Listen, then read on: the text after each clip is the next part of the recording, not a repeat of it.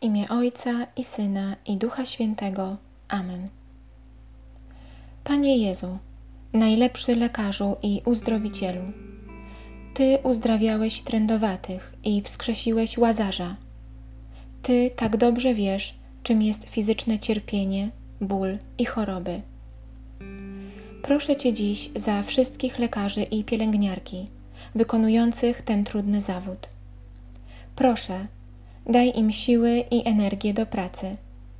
Daj czyste serce, empatię i miłosierdzie, by jak najlepiej potrafili zajmować się pacjentami, chorymi, cierpiącymi i konającymi. Daj, by z taktem i empatią opiekowali się członkami rodzin osób chorych. Obdasz wszystkich lekarzy i pielęgniarki darami Ducha Świętego, mądrością, rozumem, radą, męstwem, umiejętnością, pobożnością i bojaźnią Bożą. Pozwól, by dzięki nim potrafili jak najtrafniej postawić diagnozę, uleczyć jak najwięcej chorób i jak najsprawniej przeprowadzić zabiegi i operacje.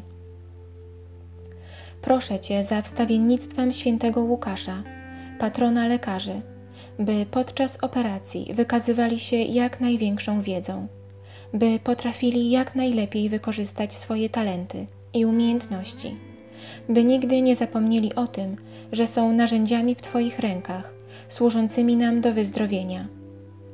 Proszę, pozwól, by wykonywana przez nich praca przysłużyła się Twojej chwale.